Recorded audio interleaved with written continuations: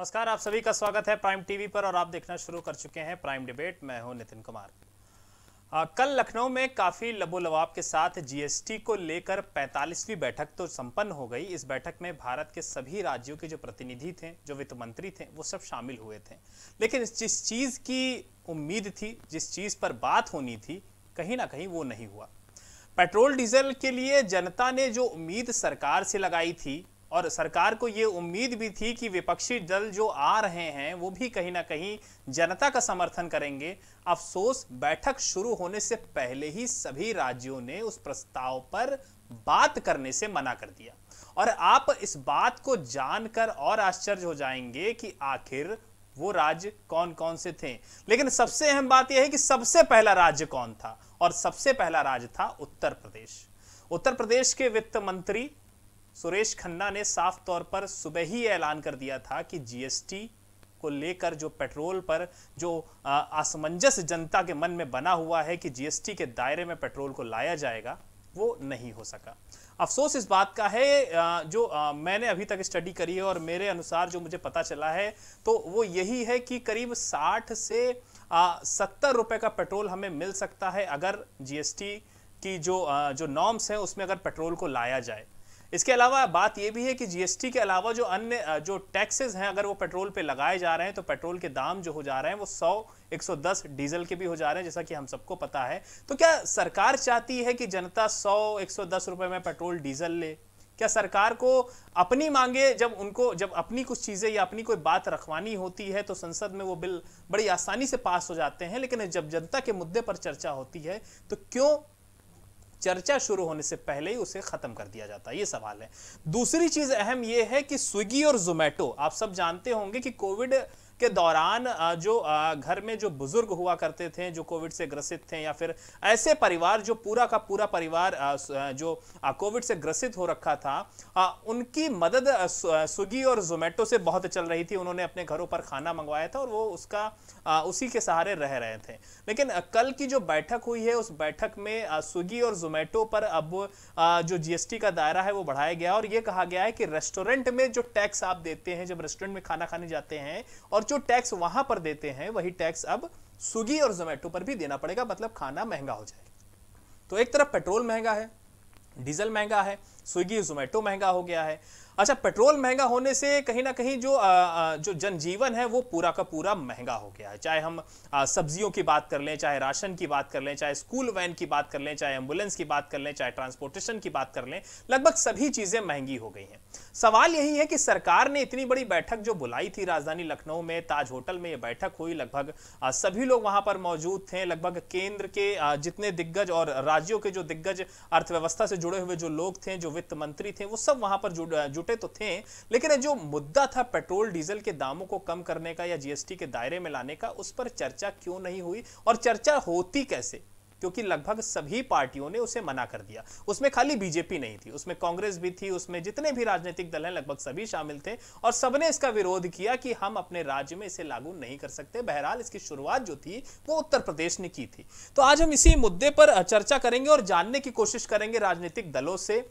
कि आखिर क्या समस्या थी कि इस पूरे मुद्दे पर चर्चा ही नहीं हो पाई? क्यों इस बैठक से पहले यह अनुमान लगाया जा रहा था कि सबसे अहम चर्चा इसी मुद्दे पर होनी है। लेकिन चर्चा शुरू होने से पहले ही इस बात से मना कर दिया गया कि हम आज इस मुद्दे पर चर्चा भी करेंगे। ये सवाल अभी भी बना हुआ है और इस पर हम आज चर्चा करेंगे। और आज की डिबेट शुरू करने से पहले एक रिपोर्ट देखिए, उसके बाद हम आज डिबेट डिबेट को आगे बढ़ाते हैं और जनता के मुद्दे को लेकर आगे चलते हैं।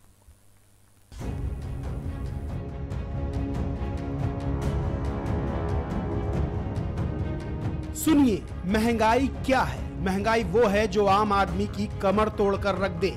ये लाइन हिंदी में लिखे निबंध सी लग रही है। बिल्कुल लगनी भी चाहिए। क्योंकि महँगाई का असर सिर्फ़ नौकरी पेशा लोगों पर ही नहीं पड़ रहा, बल्कि गृहस्थी संभाल रही महिलाओं समेत बच्चों पर भी महँगाई का असर पड़ रहा है। बच्चों की फ़ीस से लेकर उनको स्कूल ले जाने वाली वैन, बस और ऑटो वालों ने भी अपना किराया बढ़ा दिया है।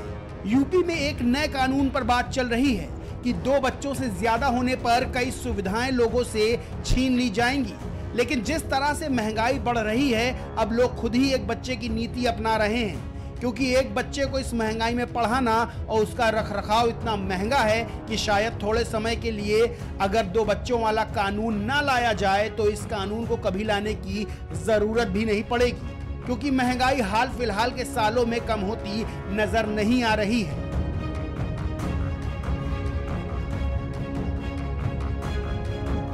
महँगाई का सबसे बड़ा कारण क्या है? पेट्रोल, डीजल और उसमें भी डीजल। डीजल के दाम बढ़ने से ट्रांसपोर्ट से लेकर हर चीज़ के दामों पर असर पड़ता है। सब्ज़ियाँ, दालें और ज़रूरी सामान महँगा हो जाता है। ये बात आम आदमी को अच्छी तरह से मालूम है और बस यही बात है कि लोग पेट्रोल, डीजल के दामों में कटौती करने की मांग कर रहे हैं। और इसके दाम कम कैसे हों तो उसके लिए इन्हें जीएसटी के दायरे में लाना होगा, जिससे जनता को कुछ राहत मिल सके। लेकिन बड़े बड़े दावे करने वाली राज्य सरकारें शायद जनता को राहत देने के पक्ष में नज़र नहीं आ रही हैं। वैसे तो भारत राज्यों का एक संघ है और राज्यों की महत्ता देश में बहुत है। तभी अलग अलग राज्य में अलग अलग दल की सरकारें हैं। जब महँगाई बढ़ती है तो दूसरे दलों की सरकारें केंद्र को कोसती हैं कि पेट्रोल और डीजल के दाम बढ़ रहे हैं। महँगाई डायन खाए जाते हैं। तो अब मौका आया है कि राज्य सरकारें दिखाएँ कि वो जनता की कितनी हितैषी हैं। और ये बात सिर्फ़ दूसरे दलों के राज्य सरकारों पर ही लागू नहीं होती, बल्कि जहाँ जहाँ बीजेपी की सरकार है वहाँ वहाँ भी लागू होती है। वहाँ भी ढाक के तीन पात वाला रवैया अपनाया जा रहा है। बस वादे बड़े बड़े होते हैं, लेकिन महँगाई के मूल कारणों का पता होने के बाद भी कोई कदम न अपनाया जाना और खुद को लाचार, असहाय, निरुत्तर, खुदगर्ज, बेसहारा विवश वशीभूत, दीन कमज़ोर दिखाना सिर्फ़ उस जनता के साथ धोखा है जो उन राज्य सरकारों को अपना बेशकीमती वोट देकर जिताती है। कल वस्तु एवं सेवा कर काउंसिल की बैठक हुई, जिसकी अध्यक्षता केंद्रीय वित्त मंत्री निर्मला सीतारमन ने की। इस बैठक में 28 राज्य और तीन केंद्र शासित प्रदेशों के प्रतिनिधि शामिल हुए। केरल हाईकोर्ट का वो आदेश, जिसमें उसने जीएसटी काउंसिल को आदेश दिया था कि छह महीने के अंदर पेट्रोल, डीजल को जीएसटी के दायरे में लाने के लिए विचार करना चाहिए। इस बैठक में उस पर कोई फैसला नहीं हो पाया। और होता भी क्यों?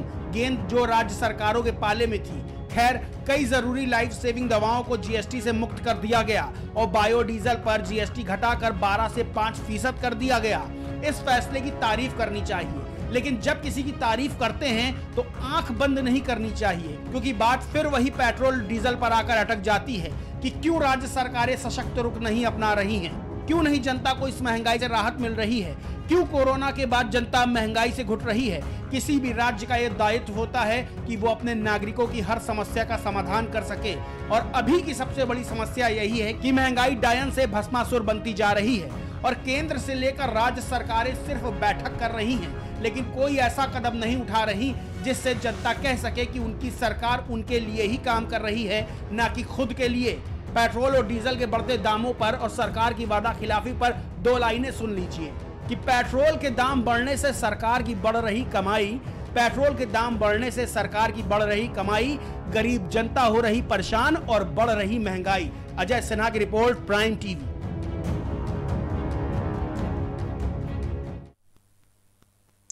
तो सवाल यही है कि आखिर सरकार पेट्रोल, डीजल के मुद्दे पर अगर जीएसटी काउंसिल की बैठक को बुलाती है या बुलाई जाती है तो आखिर उसी मुद्दे पर बात क्यों नहीं होती? है सवाल अभी भी बना हुआ है जो हमारे और आम जनता के बीच में है। चौबीस करोड़ जनसंख्या उत्तर प्रदेश की जो है, उसके मन में बना हुआ है कि आखिर ये महँगाई कैसे कम होगी?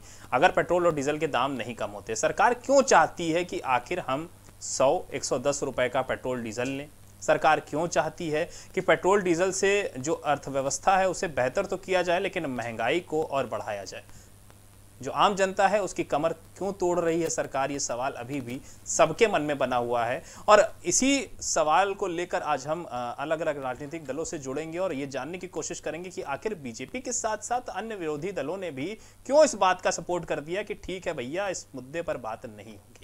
गौरव मिश्रा जी, बीजेपी से हमारे साथ जुड़े हुए हैं, जिनसे हम सवाल पूछेंगे। इसके अलावा विनोद सिंह कांग्रेस से हैं, हमारे साथ जुड़े हुए हैं और अर्थशास्त्री के रूप में अरविंद विद्रोही जी हमारे साथ जुड़े हुए हैं। कुछ और मेहमान आपसे थोड़ी देर में हमसे जुड़ेंगे।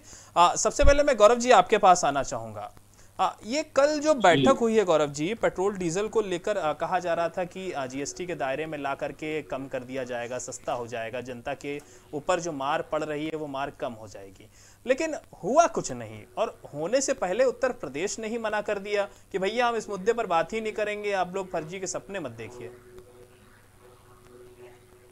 जी ये काफ़ी लंबे समय के बाद लगभग 20 महीने के बाद जीएसटी काउंसिल की बैठक हुई है लखनऊ में। और ऐसा नहीं है कि ये सिर्फ़ डीजल और पेट्रोल के मुद्दे पर यह बैठक बुलाई गई। ये माननीय उच्च न्यायालय केरला ने एक टिप्पणी की थी इसमें उन्होंने कहा था कि डीजल और पेट्रोल को भी जीएसटी के दायरे में लाया जाए। हाँ। तो वो एक टॉपिक था एक विषय था परंतु वो विषय उठा और उसको सिरे से सभी राज्यों ने यहाँ तक कि मोस्टली उसमें जो विपक्षी राज्य है विपक्षी हाँ। दलों के जो राज्य हैं हाँ। उन्होंने खारिज किया उस पर बहस करने के लिए तैयार उसका हवाला देते हुए ये कहते हुए कि जब जीएसटी लागू हुआ था दो हज़ार जो लॉस होगा जो रेवेन्यू कलेक्शन में जो नुकसान होगा जो कम रेवेन्यू आएगा उसकी भरपाई गवर्नमेंट करेगी वो कंपनसेशन टैक्स के रूप में सेंट्रल गवर्नमेंट उसकी भरपाई करेगी हाँ।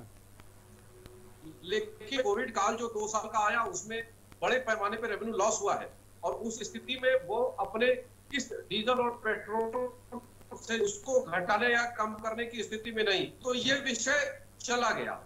लेकिन भारतीय जनता पार्टी की केंद्र की चल रही सरकार ने हाँ। जो कंपनसेशन अमाउंट देने की बात जो 2022 तक थी उसको बढ़ा करके 2026 तक कर दिया है। हाँ। मुझे लगता है कि ये तो एक विषय था सिर्फ़। लेकिन इसमें और कई महत्वपूर्ण विषयों पर चर्चाएँ हुई हैं। हाँ। जैसे आप आपने अभी अपने इंट्रोडक्टरी स्पीच में कहा कि स्विगी और जोमेटो हाँ। पर टैक्स इम्पोज कर दिया गया। जबकि हाँ। ये सत्य नहीं है। सच्चाई ये है कि पहले भी टैक्स लगता था। हाँ सर लेकिन ना ना सर सर सर टैक्स लगता था लेकिन जो रेस्टोरेंट वाला टैक्स है वो नहीं लगता था। अब तो रेस्टोरेंट वाला टैक्स देना पड़ेगा। नहीं नहीं ऐसा है कि पहले पाँच प्रतिशत टैक्स जो लगता था ये फ़ूड कलेक्ट करके रेस्टोरेंट को जमा कर देते हाँ। और ये देखा गया कि वो गवर्नमेंट के पास वो पैसे पाया हाँ। बड़े पैमाने में वो पैसे छूट गए अच्छा। या उसमें भी मैनिपुलेशन के चांसेस है तो इसलिए हाँ। अब जो ये बीच की एजेंसी है जो एजुकेटर एजेंसी है हाँ। चाहे स्विगी हो गया जोमेटो हो गया अच्छा। वो उस टैक्स को कलेक्ट करेंगे और सीधे गवर्नमेंट को जमा करेंगे अच्छा। अब ये व्यवस्था हो गई वहीं कई महत्वपूर्ण दवाओं पर जैसे स्पाइनल की बीमारी में हम्म। दवाएँ इस्तेमाल होती हैं दवाओं को पाँच परसेंट लाया गया। बहुत सारे लगता है कि एक व्यापक पैमाने पर जीएसटी काउंसिल की इस बैठक को देखने की आवश्यकता है हाँ यदि जीएसटी के दायरे में डीजल और पेट्रोल आते हैं तो निश्चित रूप से उसमें राहत मिल सकता है लेकिन हम्म। उसमें व्यापक बनाने की सभी राज्यों को आवश्यकता है। लेकिन अभी लेकिन, भी लगभग एक्साइज के खाते में बत्तीस रुपए जाते हैं और बैट लगता है राज्य राज्य अपना बैट अलग से लगाते हैं। हाँ। तो एक बड़ा अमाउंट जो है ईंधन के ऊपर जाता है टैक्स के रूप में। लेकिन सर लेकिन सर सबसे ज़्यादा उम्मीद जो थी वो पेट्रोल डीजल से ही थी क्योंकि पेट्रोल डीजल के दाम अगर नहीं घटेंगे तो अर्थव्यवस्था तो आपकी बेहतर हो रही है मैं मानता हूँ। लेकिन जनता की कमर तो टूट रही है ना चाहे सब्ज़ी हो गई महँगी चाहे हम वो कहीं हमें जाना है दवाई लेने के लिए तो भी हमें पेट्रोल भरवाना पड़ेगा। पेट्रोल महँगा हो गया डीजल महँगा हो गया स्कूल वैन का किराया महँगा हो गया एंबुलेंस का किराया महँगा हो गया। तो ये सब जो चीज़ें हैं क्योंकि उम्मीद सबसे ज़्यादा पेट्रोल डीजल को ही लेकर थी। अच्छा एक चीज़ और है गौरव जी क्या कल तो आप लोगों को मतलब काफ़ी खुशी हुई होगी क्योंकि जो विपक्षी दल है उन लोगों ने भी आपका सपोर्ट किया कि भैया हम दाम वाम नहीं कम करने वाले पेट्रोल के देखिए जनता के लिए तो यदि कम लेकिन इसमें व्यापक रूप से सभी दलों को सभी राज्यों को एक साथ आने की आवश्यकता है अच्छा। इसमें केंद्र भी तैयार है एक कदम आगे बढ़ने के लिए हम्म। लेकिन राज्यों के पास अभी भी ऑप्शन है ऐसा हम्म। नहीं है राज्य राज्य जो बैठ लगाते हैं हम्म। ईंधन के ऊपर में उसको कम कर सकते हैं या ज्वाइंटली संयुक्त रूप से सभी राज्य एक साथ इस विषय पर बैठ सकते हैं। बैठ चूँकि लेकिन चूँकि ये एक ऐसा क्षेत्र है जिसके सीधे तौर पर रेवेन्यू राज्यों को मिलता है चाहे वो एक्साइज का विभाग हो और या फिर ये तेल का विभाग हो इसे सीधे तौर पर राज्यों को रेवेन्यू मिलता है तो ऐसा समझते हैं कि इसमें कोई कमी नहीं होनी चाहिए। अच्छा और वही जीएसटी कलेक्शन में अगर कभी कमी आती है तो उस उस उसका कंपनसेशन दे ही रही है। अच्छा। तो बढ़ा भी दिया है 2026 तक। तो मुझे लगता है कि इस विषय पर एक व्यापक बैठक करनी चाहिए थी और हाँ। एक महत्वपूर्ण विषय जो है हाँ। जो ग्रुप ऑफ़ मिनिस्टर्स की जो कमेटी बनी है इस बैठक में उसमें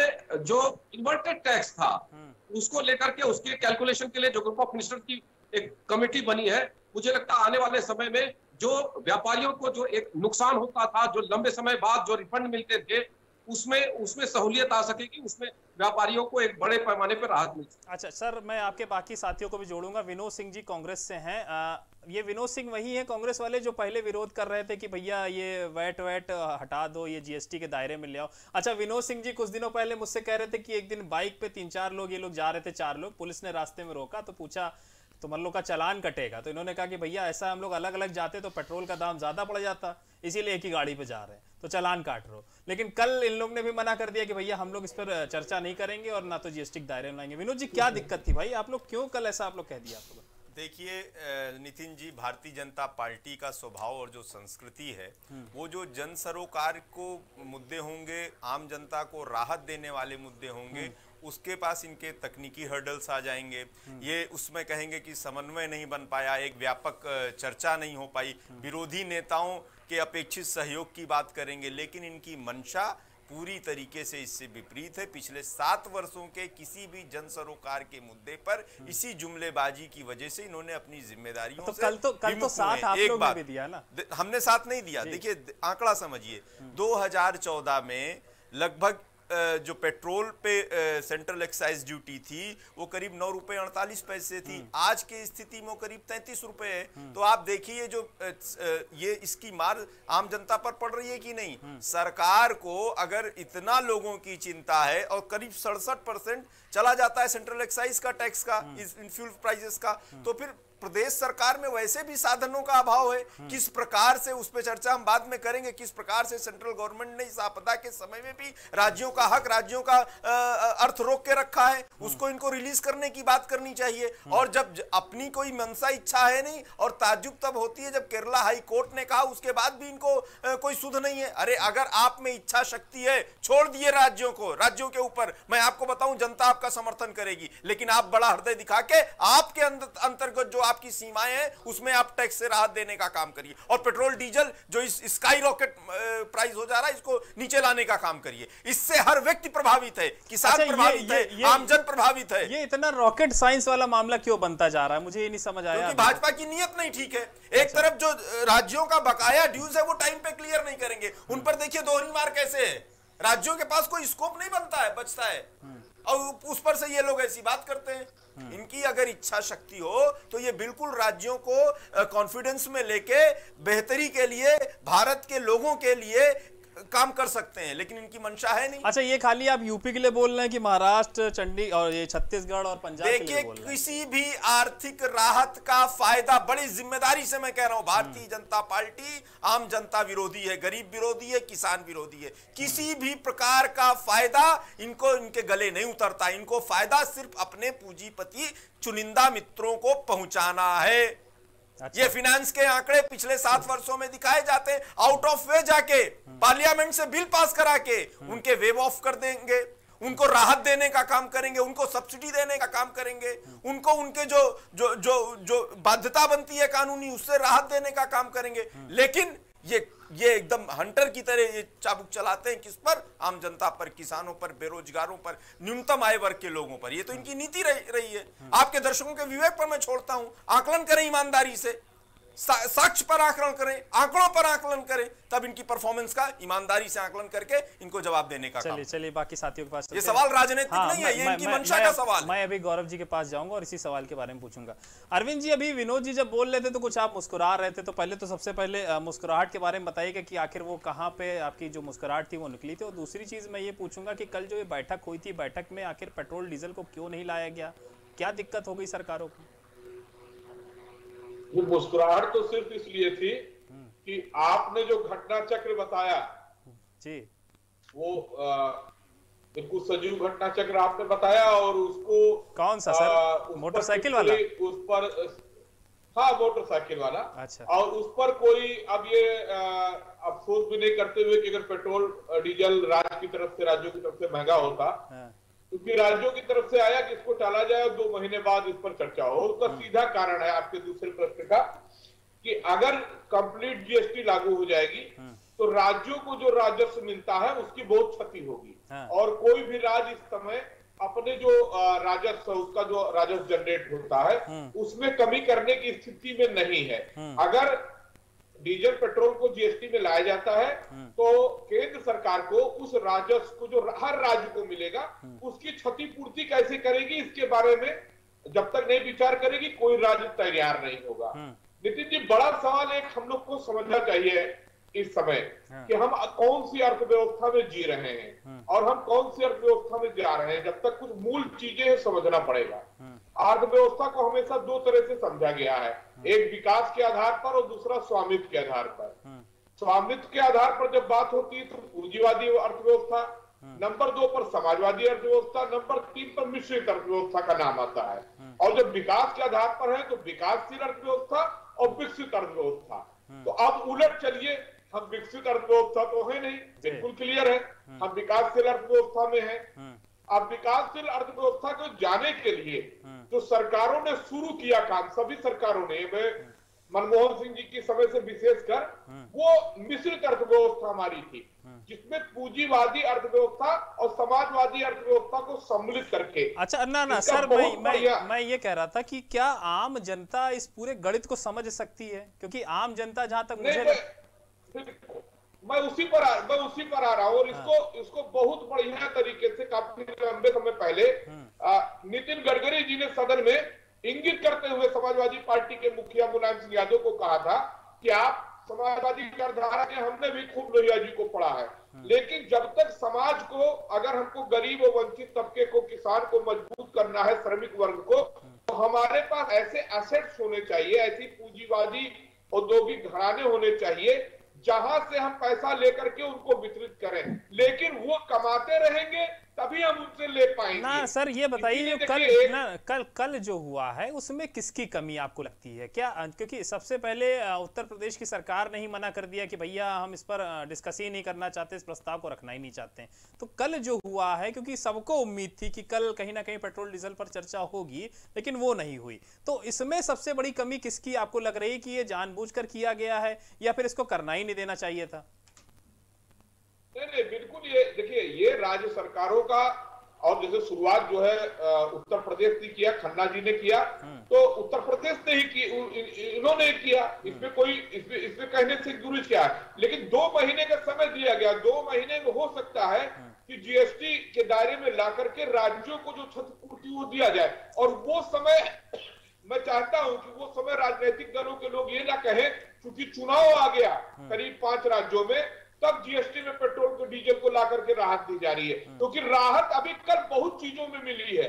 चुनौतियाँ भी खड़ी हुई हैं। सर महँगा भी बहुत कुछ हुआ है। तो राहत मिली है राहत मिली है। ना बिल्कुल सही बात है। राहत मिली है लेकिन महँगा भी बहुत कुछ हुआ है। ठीक है। हाँ, चलिए चलिए। हैं, अरविंद जी मैं मैं आऊँगा आपके पास। व्यापारी नेता हैं संजय छाबलानी जी हमारे साथ जुड़ गए हैं इस वक्त। आपका बहुत स्वागत है संजय सुरेश जी। सुरेश जी, मैं आपसे ये पूछना चाह रहा था कि आप लोगों को क्या उम्मीद थी सरकार से कि कल जो बैठक हुई है जीएसटी को लेकर? क्योंकि कई सारी समस्याएँ आप लोगों के मन में भी रही थी जीएसटी को लेकर, क्योंकि बहुत से ऐसे व्यापारी थे जो जीएसटी को समझ नहीं पा रहे थे। उनका ये कहना था कि जीएसटी जब से आया, तब से कहीं ना कहीं जो उनका व्यापार है, उसको काफ़ी समस्याएँ हो रही हैं। आपको क्या उम्मीद थी? क्या सरकार उस उम्मीद पर खरा उतरी कल या नहीं उतरी? नमस्कार, मैं सुरेश शबलानी हूँ, अखिल भारतीय उद्योग व्यापार मंडल का महामंत्री हूँ। जो पैंतालीसवीं बैठक जीएसटी काउंसिलिंग के लखनऊ में हुई। तो वित्त मंत्री जी से व्यापारियों को जो उम्मीदें थीं कि कम से कम जीएसटी का सरलीकरण किया जाएगा और जीएसटी को थोड़ा सा सरल बनाया जाएगा, टैक्स की दरें आधी की जाएँगी, जिससे कि भी कोरोना काल में डेढ़ साल पहले भी व्यापारियों ने काफ़ी नुकसान सहा है, काफ़ी व्यापार प्रभावित हुआ है। तो उसको देखते हुए, लेकिन हाँ ये है कि उन्होंने जीवन रक्षक दवाएँ सस्ती की हैं, कोविड वाली दवाएँ सस्ती की हैं, लेकिन व्यापारियों को इस बात से निराशा हुई कि उनको, उनके व्यापार में आने वाली जो दिक्कतें हैं, देखिए, टैक्स की दरें अभी भी हर जितने भी बाने हैं, सब पे दो तरह की दरें हैं। हम व्यापारियों की तरफ़ से हम लोग हमेशा ये मांग रही है कि जब वन नेशन वन टैक्स की बात होती है तो एक तरह का टैक्स होना चाहिए, और वो भी कम से कम टैक्स होना चाहिए, ताकि व्यापारी भी आसानी से दे और सरकार का भी राजस्व बढ़े।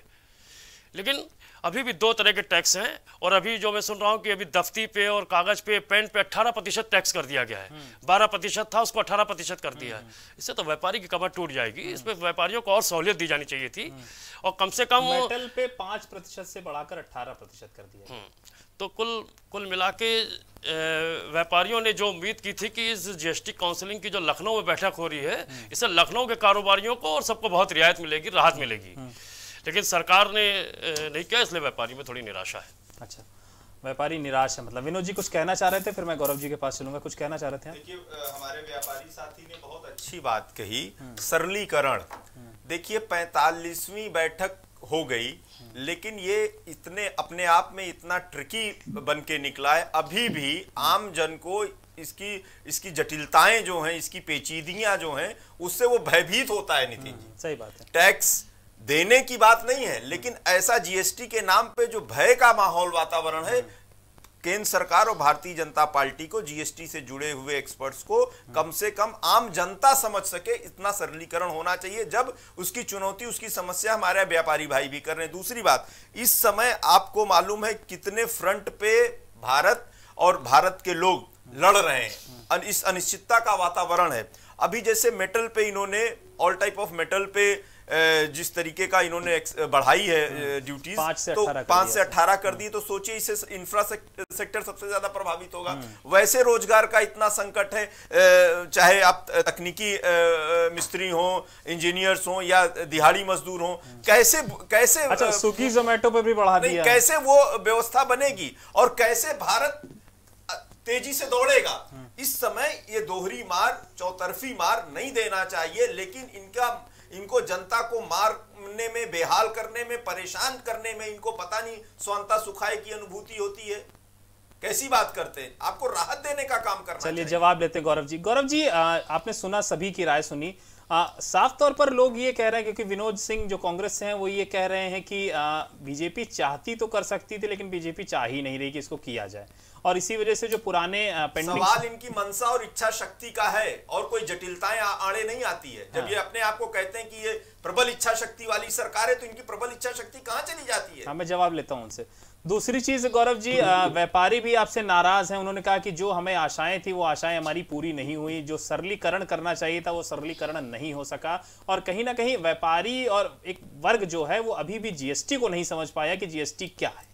तो ये सारी जो समस्याएँ हैं, इन समस्याओं से आप कब जनता को, कब व्यापारियों को दूर कर पाएँगे? और जो आशाएँ, उम्मीदें लगाई थी आप लोगों से, आप आपसे लोगों ने, वो आशाएँ, उम्मीदें भी पूरी नहीं हुई हैं। तो इस पर क्या जवाब है आपका? क्या कहना चाहेंगे? और क्या उम्मीद हम आपसे और लगाएँ? देखिए, इस डिबेट में बहुत प्रबुद्ध लोग बैठे हैं और अर्थव्यवस्था के जानकार हैं। और ये विषय मुझे लगता है कि राजनीतिक बयान देने का नहीं है जी। एक बात समझने की आवश्यकता है जो व्यापारी प्रतिनिधि बैठे हुए हैं यहाँ पर पहले जब जीएसटी नहीं लगता था उस समय क्या स्थिति थी उस समय बत्तीस प्रकार के टैक्स अलग अलग प्रकार के टैक्स हुआ करते हम्म। और जिनके टैक्स का स्लैब का आंकड़ा यदि देखा जाए हम्म। तो 40 से 50 प्रतिशत तक चले जाते हम्म। अगर कम्युनिटी टैक्स अगर उसको कैलकुलेट किया जाए उन सबको जीएसटी में समाहित कर दिया गया और तीन स्लैब में उसको बांट दिया गया। अधिकतम 28 परसेंट के स्लैब में और न्यूनतम पाँच प्रतिशत के स्लैब में ला करके समाहित कर दिया गया। हम्म। एक तो ये समझने की आवश्यकता है कि सरलीकरण इसी को कहते हैं। सरलीकरण की परिभाषा। अच्छा मतलब ये समझ नहीं पाए उस चीज़ को। और दूसरी दूसरी दूसरी जो सबसे महत्वपूर्ण विषय है हाँ। ये जीएसटी काउंसिल की बैठक थी। टैक्स को लेकर के थी। रिफॉर्म हाँ। को लेकर के नहीं थी। देखिए सभी राज्यों ने विरोध किया डीजल और पेट्रोल को जीएसटी के दायरे में लाने के लिए। हाँ। कारण क्या था? उसका एक बुनियादी कारण भी है समझने की आवश्यकता है। चाहे वो विपक्ष का विपक्ष के द्वारा शासित राज्य हो या भारतीय जनता पार्टी के द्वारा शासित राज्य हो। यद्यपि केरल के हाईकोर्ट ने यह विषय उठाया था और केरल की राज्य ने सबसे पहले मना किया। हम्म। हम इस, इसको स्वीकार नहीं करेंगे। हम्म। देखिए दो लाख सत्तर हज़ार करोड़ का नुकसान राज्य को इस कोरोना काल के दौरान उठाना पड़ा। जो राजस्व की हानि हुई है जीएसटी के द्वारा वो दो लाख सत्तर हज़ार करोड़ केंद्र सरकार के द्वारा भरपाई किया जाएगा जिसको जिसे कंपनसेशन बोला जाता है। कंपनसेशन से छब्बीस तक केंद्र की सरकार उसको भरपाई करेगी सभी राज्यों को। तो ये समझने की आवश्यकता है कि क्या सभी राज्य आज इस अवस्था में स्थिति में है कि इस स्लैब को कम कर सकते सर हैं? सर आप ना ना गौरव के में ला करके अपने राजस्व को कम कर गौरव सकते जी हैं। गौरव जी गौरव जी एक छोटी सी बात ये है कि आप बता रहे हैं कि राज्यों ने मना कर दिया राज्य नहीं आए राज्यों के मन में नहीं था। लेकिन जनता के मन में जो था उस पर तो कहीं ना कहीं आप लोग को सोचना चाहिए था ना व्यापारियों के मन में जो था उसके बारे में सोचना चाहिए था। महँगाई देखिए बहुत बड़े पैमाने पे राजस्व जो है राज्य जब चाहते हैं ना राज्य जब चाहते हैं वो है, कर लेते हैं। सरकार जो चाहती है वो कर लेती है अपने लिए अपने फ़ायदे के लिए। जब उसको कुछ भी चीज़ें सस्ती करनी है तो वो कर सकती है महँगी करनी है तो कर सकती है। लेकिन जनता जो चाह रही थी आप इस पे हाँ जी। नहीं बिल्कुल जनता के द्वारा चुनी हुई ये सरकारें हैं। हाँ, बिल्कुल, साफ़ तौर पर मैं वही कहना चाह रहा था। उस पर निर्णय हो हो पाएगा। और जब तक सभी सरकारें एक मत नहीं होंगी तब तक उस पर फैसला नहीं हो सकता है। यद्यपि हमारी सरकार चाहती है केंद्र की सरकार भी चाहती है और देश की जनता भी चाहती है कि डीजल और पेट्रोल के दाम नीचे आए। लेकिन डीजल और पेट्रोल के दाम सिर्फ़ और सिर्फ़ देश के माहौल के ऊपर निर्भर नहीं करते। वो अंतर्राष्ट्रीय बाज़ार के ऊपर भी निर्भर करते हैं। अच्छा सर मैं मैं मैं मेरे मेरे मन में एक छोटा सा सवाल ये है कि जो जीएसटी का सबसे मतलब सबसे बड़ा स्लैब जो है 28 प्रतिशत का।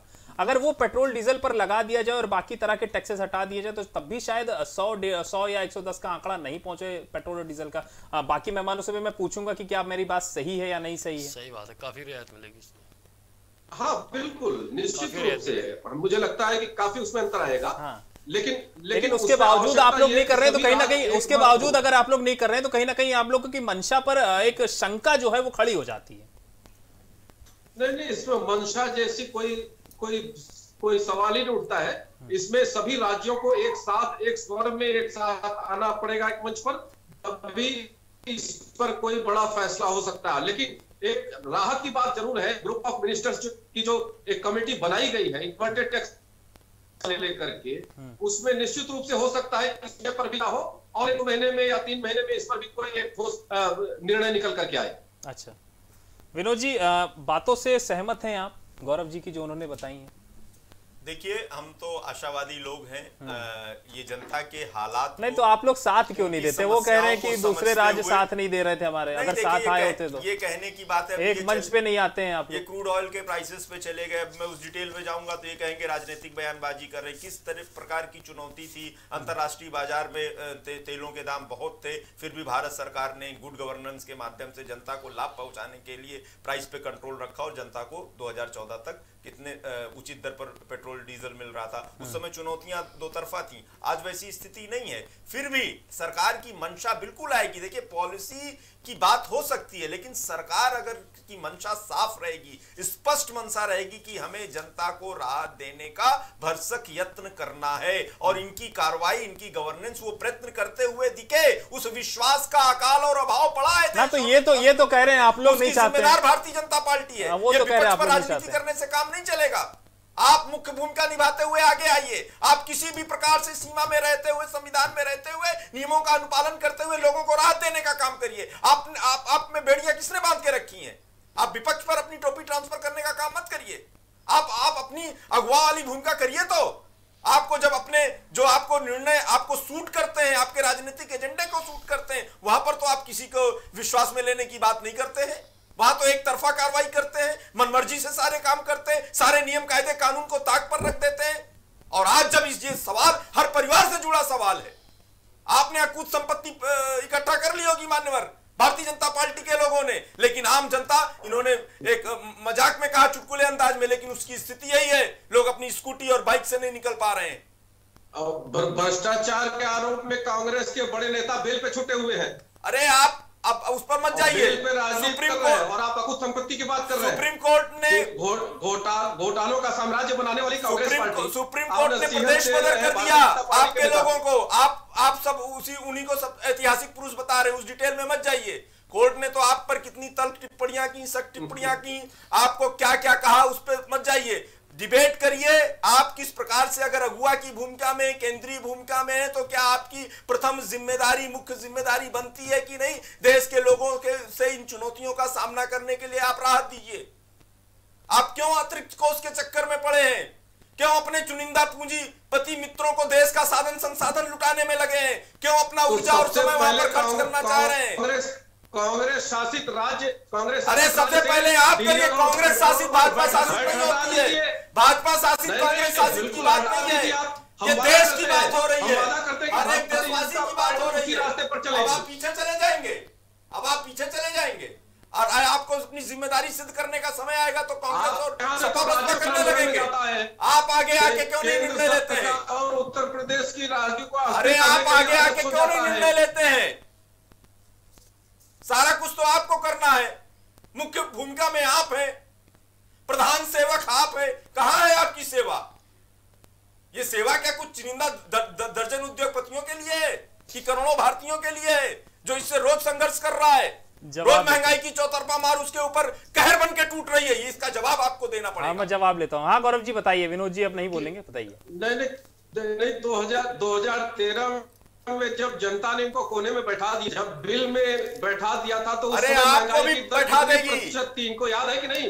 आप पचास साल के लिए जा रहे हैं आपका वनवास पचास साल के लिए होगा। लगभग अठारह अठारह प्रतिशत अठारह प्रतिशत महँगाई की दर पे छोड़ के गए थे। आ- आप ऐसे हवा में रहिए जनता पार्टी ने किया करिए अनदेखी करिए? आप इस बार पचास साल के लिए राजनीतिक तो रूप से पहले पहले पहले आंकड़ों का ज्ञान सही तरीके से लेके आए। अध्ययन प्रॉपर करके आए तब इस पे बहस करें। अरे आपके सामने तो लगातार आमजन परेशान है बेहाल है। आप क्या फर्जी आंकड़ों की बात कर रहे हैं? आगे जुमलेबाजी पर। आपके पास जुमलेबाजी के अलावा कुछ है नहीं। ये तो जनता जानती है जुमला कौन पढ़ता है। आपके अध्यक्ष ने ही कहा जुमला कौन पढ़ता है? जुमलेबाज पार्टी कौन है? आप आप आपको चलिए मैं वादा करता हूँ आप कांग्रेस शासित राज्य से राजस्थान से या छत्तीसगढ़ से आप डीजल और पेट्रोल से अरे आप यूपी आगे की बात आइए करने ना। बैठा हूँ। आप आगे आइए ना। ना ना मैं यूपी की बात करने बैठा हूँ। बयान दिलवा दीजिए। अरे आप मैं तो कह रहा हूँ। दिलवा दीजिए। अरे मैं यूपी की बात करने बैठा हूँ। भाई मुझे चौबीस करोड़ जनसंख्या की बात करनी है। आपको गौरव बिल्कुल है। मुझे दूसरे राज्यों के बारे में नहीं जानना है सर। की मीटिंग में उठाया है आपको इतनी ये ये क्यों हो जाती है नहीं तो ये ये ये बैठक सभी राज्यों की थी ना 28 राज्यों की थी केंद्र शासित प्रदेशों की सभी सभी सभी जनता के सवाल पर आप बौखला क्यों जाते हैं? ना ये सर मेरे बगल में जो सुरेश छाबलानी जी बैठे हैं ना इनको उत्तर प्रदेश से ज़्यादा उम्मीद है। दूसरे प्रदेशों से उम्मीद नहीं है इनको। आनंद ले रहे हैं। मैं ये कह रहा था गौरव जी हमारे बगल में जो सुरेश छाबलानी जी बैठे हैं इनको उत्तर प्रदेश से ज़्यादा उम्मीद थी बाकी राज्यों से नहीं थी। नहीं देखिए ये देखिए बजट पहली बात तो ये बजट नहीं है। जो सालाना बजट होता है या आंतरिक बजट होता है बजट नहीं है। जीएसटी काउंसिल की मीटिंग थी। और हमारी सरकार माननीय फाइनेंस मिनिस्टर ने इस विषय को उठाया जीएसटी काउंसिल में चाहे डीजल और पेट्रोल के मुद्दे को जीएसटी में लाने के लिए इस विषय को उठाया है। और वो भी माननीय उच्च न्यायालय के आदेश पर उठाया लेकिन सिरे से विपक्षी दल की सरकारों ने सबसे पहले इसे खारिज किया। अच्छा। यद्यपि इस पे अगर चर्चा आगे बढ़ती तो निश्चित रूप से इस पे कुछ ना कुछ सकारात्मक और परिणाम आता। अच्छा ये विपक्ष वाले ना ना ये ये ये विपक्ष ये विपक्ष वाले कह रहे थे ये विपक्ष होने की आवश्यकता नहीं। ये विपक्ष वाले कह रहे थे कि यूपी सरकार ने सबसे पहले विरोध कर दिया कि भैया हम बातें नहीं करेंगे। नहीं सबसे पहले केरल सरकार ने किया था। अच्छा। सबसे पहले देखिए अब यही बात है सूचनाओं को दुरुस्त करने की हाँ, आवश्यकता हाँ, सर, मेरी केरल से। आवाज़ और केरल ने सबसे पहले इसको खारिज किया। जी। चलिए ठीक है सर मैं आता हूँ फिर आपके पास। अरविंद जी मैं आपसे ये पूछ रहा था अरविंद विद्रोही जी कि अगर ये जीएसटी को जीएसटी के दायरे में पेट्रोल डीजल को लाया जाए और सबसे जो बड़ा स्लैब है अट्ठाईस प्रतिशत का उस पर लगा दिया जाए तो क्या पेट्रोल डीजल के दाम जो अभी हैं वही रहेंगे या बढ़ जाएँगे? नहीं इससे इससे तो नियंत्रित रहेंगे इससे कम रहेंगे। तब भी सरकार नहीं करना नहीं चाहती रहेंगे हाँ। नहीं नहीं इसीलिए देखिए इसीलिए इस पर चर्चा हुई। लेकिन जब तक केंद्र सरकार राज्य सरकार जो अभी तक पेट्रोल डीजल से उनको राजस्व मिलता है वो उसकी कमी की भरपाई का कोई प्रारूप नहीं आएगा।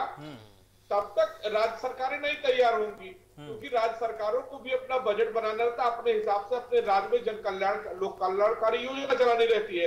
तो इसीलिए दो महीने का समय निर्धारित हुआ आगे के लिए। मुझे जहाँ तक मेरा आकलन है। और इसमें जो है वित्त मंत्रालय के ऊपर बड़ी ज़िम्मेदारी होगी कि वो जो राज्य सर वो आकलन करे कि कौन से राज्य राज्य सरकार को पेट्रोल डीजल से कितना पैसा की प्राप्ति होती है। फिर जब जीएसटी में आवे तो उतने पैसे की क्षतिपूर्ति हर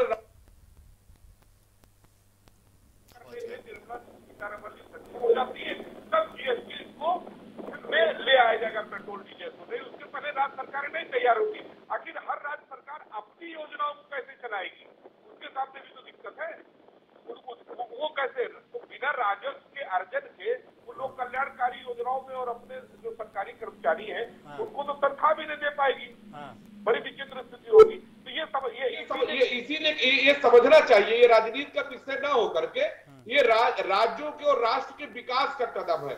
जिस पर अब केंद्र सरकार के ऊपर जो क्योंकि संघों सभी राज्यों के संघ से मिलकर के पूरा भारत सरकार है। तो राज्यों की ये जो बुनियादी दिक्कत है ज़रूरत है उसको केंद्र सरकार को पूरा करना पड़ेगा और हम्म। केंद्र सरकार अरे केंद्र सरकार कह रही है कि भैया वो जाके दूसरे राज्यों से पहले लिखवा के लाओ नहीं वो देखिए सब लोग कह रहे हैं लेकिन हाँ। मुझे मुझे लगता है कि करेंगे हम्म। बस मैं पहले भी कहा करेंगे बस ये ये ध्यान रखने की बात है फिर फिर विपक्षी दल ये ना कहे हम्म। कि नरेंद्र मोदी ने चुनावों के पहले निर्णय ले लिया अच्छा। ये खतरा बना रहेगा नितिन जी हाँ। और मेरी दिलचस्पी इस समय बहुत सुरेश जी की दो तीन बातें ध्यान दिलाने का है व्यापारी समूह पर। हम्म। देखिए स्वास्थ्य विभाग के लिए स्वास्थ्य महकमे की बड़ी ज़िम्मेदारी कोविड नाइन्टीन के काल में है। हम्म। और उस पूरे आपके सेक्टर को हेल्थ सेक्टर को व्यापारियों को बहुत छूट मिली है। हम्म। कैंसर संबंधी दवाओं पर भी जीएसटी घटा दी गई बारह फ़ीसदी से लेकिन सर लेकिन सर लेकिन सर कोविड के दौरान जो व्यापारी मरे थे उनके बारे में कोई पूछने नहीं आया।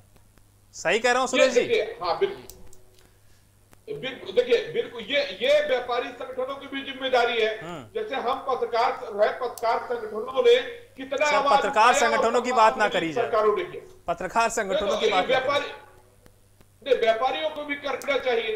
राजनीतिक दल अपना कहेंगे तो नागरिक समूहों को भी अपनी बात सरकार से करनी पड़ेगी। हम्म। सरकार को हम चुनते हैं तो सरकार को जनपक्ष की तरफ़ जनता के हित की तरफ़ मोड़ने की ज़िम्मेदारी हमारी आपकी भी है ये विपक्ष की विपक्ष तो ये चाहेगा कि हम सत्ता में आ जाएँ हम्म। लेकिन जो जनपक्ष की तरफ़ लोग हैं जो पत्रकार है व्यापारी नेता है हम्म। किसान नेता है श्रमिक नेता है ये ये लोग तो ये चाहते हैं ना कि समुदाय की हम्म। पूरे समाज की भलाई का काम मतलब कमियाँ कहीं ना कहीं नहीं लोगों में हाँ नहीं कमियाँ सब में है। हम में आप में भी है। और ये हम सुधार सुधारवादी व्यवस्था में रहे। हम्म। हम अपना कर्तव्य निभावे तो हमको अधिकार भी मिले। चलिए मैं जवाब लेता हूँ इन्हीं से।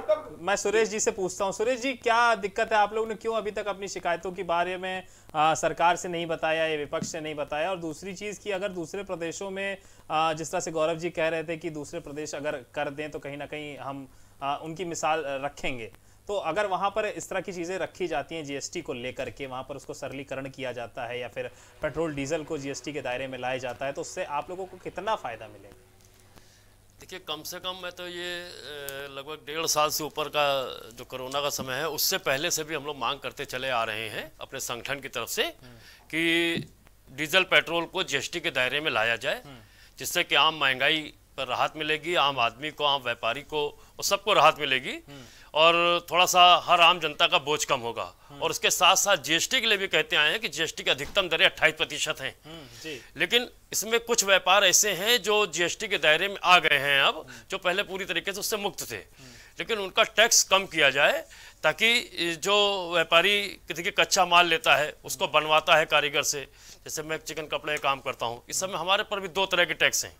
और हम लोग शुरू से मांग करते आ रहे हैं कि एक तरह का उस पर टैक्स लगाया जाए, क्योंकि ये यहाँ का आयात है, यहीं बनता है, लखनऊ में भी बनता है, इसको एक श्रेणी में लाया जाए। इसके लिए कई बार काउंसिलिंग को भी हम लोगों ने लेटर भेजा है, अपनी संस्था की तरफ़ से ही भेजा है, अपने व्यापार मंडल की तरफ़ से ही भेजा है, और जीएसटी में जो संशोधन होने हैं, उसके लिए भेजा है। कुछ संशोधन हुए भी हैं, लेकिन कुछ संशोधन होने के लिए देखिए, अभी भी हम लोगों ने काउंसिलिंग की बैठक से पहले अपने, हमने लखनऊ के मेयर को भी देखिए, हम लोगों ने ज्ञापन सौंपा था। मैं उसकी कापी आपको दिखा रहा हूँ। उसमें भी हम लोगों ने डीजल पेट्रोल को लेकर और कई चीज़ों को लेकर उसमें डाला था कि टैक्स की दरों को दो प्रतिशत से लेके पाँच प्रतिशत तक, जो बहुत ही रोज़मर्रा वाली चीज़ें हैं, उनको कम टैक्स में लाया जाए। और ख़ासकर पेट्रोल, डीजल की तो बात चली रही है और आज भी राज्य सरकारें तैयार भी नहीं हुई है इसके लिए। हो सकता है आगे जाके इस पर कुछ निर्णय सरकार करे लेकिन जैसे दवाओं को और जीवन रक्षा दवाओं को और कोविड से दवाओं को उन्होंने मुक्त किया है एक अच्छा प्रयास है बहुत अच्छा सफल प्रयास है। लेकिन इसी तरह जो छोटे व्यापारी हैं छोटे उद्योग हैं उनको भी काफ़ी जीएसटी में आधी रियायत कम से कम आधा टैक्स करें तो उससे उनका भी व्यापार बढ़ेगा और अच्छा, सरकार ये- का भी राजस्व बढ़ेगा। इस तरह की तमाम चीज़ें नौ तरह की सूची हम लोगों ने बना के जीएसटी काउंसिलिंग को भेजी भी है। अच्छा तब भी कुछ नहीं हुआ। हाँ लेकिन अच्छा ये अरविंद जी कह रहे हैं कि आप लोग अपनी मांग के लिए कभी आगे नहीं खड़े होते हैं इसी वजह से कोई पूछता नहीं अक्सर हमारे संगठन की तरफ़ से इस तरह की मांग जो हमारे मैं आपको दिखा रहा हूँ ये चाहे ट्विटर के माध्यम से चाहे हमारे संगठन के चिट्ठी के माध्यम से प्रधानमंत्री जी को वित्त मंत्री जी को मुख्यमंत्री जी को कई बार भेजी गई हैं। और मुझे लगता है उसमें कुछ मांगे पूरी भी हुई हैं हम लोग की। और कुछ मांगे अभी ऐसी हैं जो पूरी नहीं हुई हैं अच्छा। तो उसके लिए हम लोग हर प्रयास करते रहते हैं कि सरकार हम लोग के उसको संज्ञान में ले और वो क्योंकि व्यापारी ही एक ऐसा वर्ग है जो पूरी सरकार को चलाता है इसलिए सरकार को भी खासकर उन व्यापारियों को बातों को जो भी हमारी कष्ट हैं जो भी हमारी उसमें विसंगतियाँ हैं उसको दूर करते हुए उन पे थोड़ा सा काम करें और मैं एक बार फिर से ये लेटर मैं सोचता हूँ कि अभी कल ही परसों में हम लोग फिर प्रधानमंत्री जी को भेजेंगे कि जो या वित्त मंत्री जी को भेजेंगे अपने संगठन की तरफ़ से ताकि उसमें जो जीएसटी की विसंगतियाँ हैं वो व्यापारियों पे थोड़ी सी कम की जाए टैक्स की दरें और कम की जाए और सरल किया जाए। सरल का मतलब जैसे कि भैया बता रहे थे भी कि तमाम तरह के टैक्स देखिए अभी भी व्यापारी देते हैं। नहीं वो तो कह रहे थे कि पहले जो स्लैब वो हुआ करता था चालीस पचास प्रतिशत का होता हाँ, था हाँ, मानते हैं। लेकिन अभी भी- करके उसको कम कर दिया है। लेकिन अभी भी कई तरह के टैक्स हैं जो देखिए हम लोग देते हैं चाहे वो भवन का टैक्स हो हाउस का हो वाटर टैक्स हो बिजली के टैक्स हो कई तरह के टैक्स देखिए अभी भी हम लोग व्यापार में देते हैं। लेकिन हाँ फिर भी उन सबको देखते हुए इस समय हाउस कर की दरें भी काफ़ी बड़ी हुई हैं हर तरफ़। आप देख लें चाहे कुछ भी देख लें लेकिन इस तरह की कई रियायतें व्यापारियों को दी जानी चाहिए जिससे कि व्यापारी ही सरकार को चलाए और और आगे टैक्स हाँ व्यापारियों के मुद्दे पर किसी और दिन बात कर लेंगे। दी। विनोद जी दो महीने का जो समय है जिस तरह से बताया जा रहा है इस दो महीने के समय में हम क्या उम्मीद लगाएँ और क्या क्या बदलाव हो सकता है? क्योंकि आपके भी कई सारे ऐसे जो राज्य हैं जहाँ पर आपकी सरकारें हैं वहाँ पर भी विरोध किया गया है। तो क्या उम्मीद करें कि अब बात बनेगी या फिर जनता इसी तरह से चुनाव काट देगी इसी तरह से जीवन काट देगी? देखिए बिल्कुल सही है इसका सीधा जवाब है। जीएसटी में आने से जो प्रदेशों पर अतिरिक्त आर्थिक बोझ पड़ेगा अरविंद जी की बात से मैं सहमत हूँ। केंद्र सरकार को ये चाहिए और हम आशावादी हैं वो उनको विश्वास में ले लेगी कि उस अतिरिक्त आर्थिक बोझ की भरपाई केंद्र सरकार के द्वारा समय सीमा के अंतर्गत ईमानदारी से कर दी जाएगी। अगर इतना विश्वास में वो ले लेगी तो मुझे नहीं लगता कोई इस पर ऐसा तकनीकी संकट या अवरोध होगा। लेकिन ये ये यही होना बाकी है। और हम इंतज़ार कर रहे हैं सकारात्मकता के साथ इंतज़ार कर रहे हैं कि ऐसी कोई नीति ऐसा कोई प्रपोजल लेके आएगी केंद्र सरकार जिसमें किसी को समस्या नहीं होगी। कोई भी राजनीतिक दल है सबका मुख्य कांग्रेस पार्टी का तो मुख्य एजेंडा है। हमारे लोगों को जो अतिरिक्त आर्थिक बोझ की मार से उनके जीवन यापन में संकट आ रहा है उसका सरलीकरण हो जाए। और और ये सबको प्रभावित करता है हर परिवार को हर किसान को हर गरीब अमीर सबको प्रभावित करता है। तो इस पर तो तत्काल होना ही चाहिए कोई एक स्पष्ट निर्देश आ जाना चाहिए।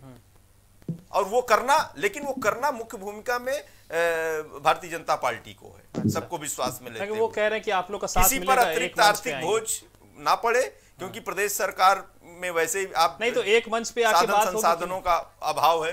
अगर अनुपातिक रूप से आप देखें हाँ। तो उनके ऊपर समस्याएँ आर्थिक बोझ का एक बहुत ज़्यादा चुनौतीपूर्ण स्थिति बन जाएगी। हम्म। अगर उसको वो एड्रेस करने का काम करते हुए राहत देने का काम करेंगी तो इसमें किसी को कोई आपत्ति नहीं है। अच्छा। अरविंद जी मैं आपके पास आऊँगा। आखिरी बार मैं आखिरी सवाल आपसे पूछता हूँ कि दो महीने का जो समय बताया गया है कि इस दो महीने बाद कुछ हो सकता है। क्या हो सकता है हम ये आपसे जानना चाहेंगे और क्या करना चाहिए सरकारों को? दूसरी चीज़, एक मंच पर आकर के बात करने की बात जिस तरह से गौरव जी कह रहे हैं कि अगर एक मंच पे सब लोग आते हैं, वहाँ पर अगर डिस्कशन होता है, वहाँ पर विचार विमर्श होता है तो कहीं ना कहीं रास्ता निकल आएगा। तो क्या कोई रास्ता निकल सकता है एक मंच पर आने पर? और अगर अब तक क्यों नहीं निकला, ये भी एक सवाल है। तो क्या होगा दो महीने में और कितनी उम्मीदें हम लगाएँ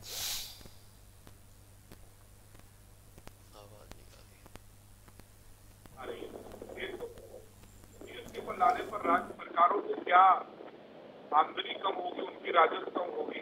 और कैसे वो मीट आउट होगा? इस पर मुझे लगता है वो काम कर रहे हैं। दूसरा, पेट्रोल और डीजल पर हमारी मतलब आम जनता उपभोक्ता की निर्भरता खत्म हो, इस पर भी बड़ा काम हो रहा है। सीएनजी के रूप में भी हो रहा है और इलेक्ट्रिक के साथ साथ सोलर वाहनों पर भी हो रहा है। इसका भी डिक्लेरेशन भी हुआ है।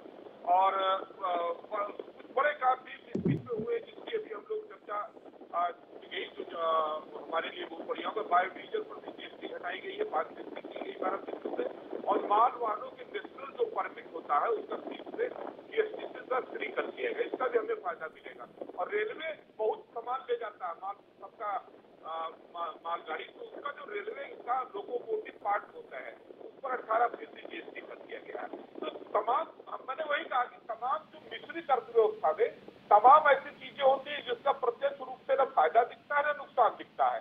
तो जैसे जैसे फ़ायदा नुकसान आएगा वैसे वैसे सुधार करने के लिए तैयार रहना चाहिए सरकारों को। उसमें ये जिद नहीं होनी चाहिए कि हमने कर दिया तो बदलेंगे नहीं। ये सुखद संकेत सबको यही है कि जीएसटी काउंसिल जो है लगातार मीटिंग करके जो कमी आ रही है व्यापारी अरविंद जी पेट्रोल डीजल के दाम कम होने की उम्मीद लगाई जाए कि ना लगाई जाए? मैंने दोनों बात कही है जब तक जीएसटी में नहीं किया जाएगा तब तक कम नहीं होगा। और अच्छा। साथ साथ निर्भरता खत्म करके सीएनजी सोलर और इलेक्ट्रिकल वाहन की तरफ़ जाने का संकेत भारत सरकार के कई मंत्री दे चुके हैं। ऐसा ना हो कि उस पर भी टैक्स लगा दिया जाए किसी तरह का। अरे टैक्स तो लगेगा ही। देखिए अगर अर्थव्यवस्था को सुदृढ़ रखना है और हाँ। देशों में आम जनता को रियायत देनी है तो उपभोक्ताओं पर टैक्स लगेगा ही लगेगा ये कटु सत्य है जी। लेकिन टैक्स इतना ना हो कि हम सांस न ले पाए चलिए मैं गौरव जी से जवाब ले लेता हूँ अरविंद जी मैं गौरव जी से जवाब गौरव जी आखिरी सवाल आप इससे यही है कि दो महीने का जो समय इस दो महीने में क्या बदलाव हो सकता है और क्या उम्मीद जताई जाए कि आने वाले दिनों में पेट्रोल डीजल को जीएसटी के दायरे में लाया जाएगा या नहीं लाया जाएगा?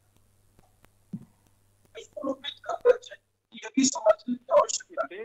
डीजल और पेट्रोल ये पूरी तरह से अंतर्राष्ट्रीय जो कच्चे तेल का जो मूल्य होता है उसके ऊपर आधारित होता है। अब रही टैक्स की जहाँ तक बात है यदि उसको जीएसटी के दायरे में लाया जाएगा तो निश्चित रूप से उस पे कर का दायरा कम होगा और दामों में कमी आएगी गिरावट आएगी।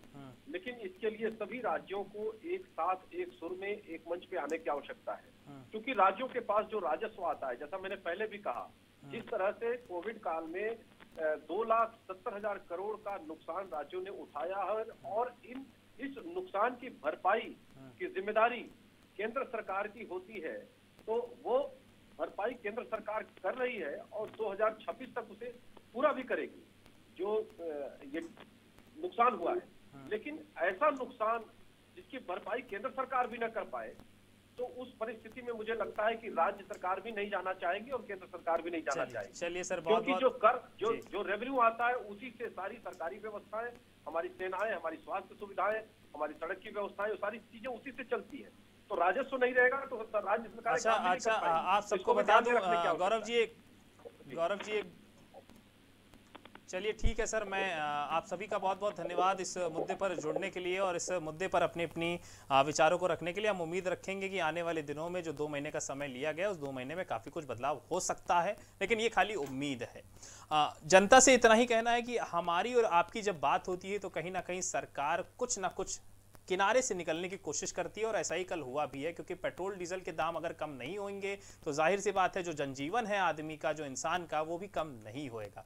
उसमें भी महँगाई लगातार बढ़ती रहेगी और वो लगभग हो भी रहा है चाहे खाने पीने की चीज़ों को ले लीजिए या फिर कहीं भी आने जाने के रास्तों को तय भी करना है तो भी वो काफ़ी महँगे हो जाते हैं और हो रहे हैं। ऐसे में सरकार अगर जीएसटी के दायरे में पेट्रोल को लेकर आती है तो काफ़ी उससे राहत जो है वो जनता को मिलेगी लेकिन इसको वो लाना क्यों नहीं चाहती है? और बात बात पर यह बात क्यों कही जा रही है कि जब सारी आ, जो राज्य हैं वो सब एक साथ एक मंच पर आएँगे, सारे विपक्षी दल एक साथ एक मंच पर आएँगे, तभी इसका जो रास्ता है वो निकाला जाएगा। अब देखना ये होगा कि दो महीने बाद आखिर क्या निर्णय होता है। आज की डिबेट में इतना ही अमित जनवती नमस्कार।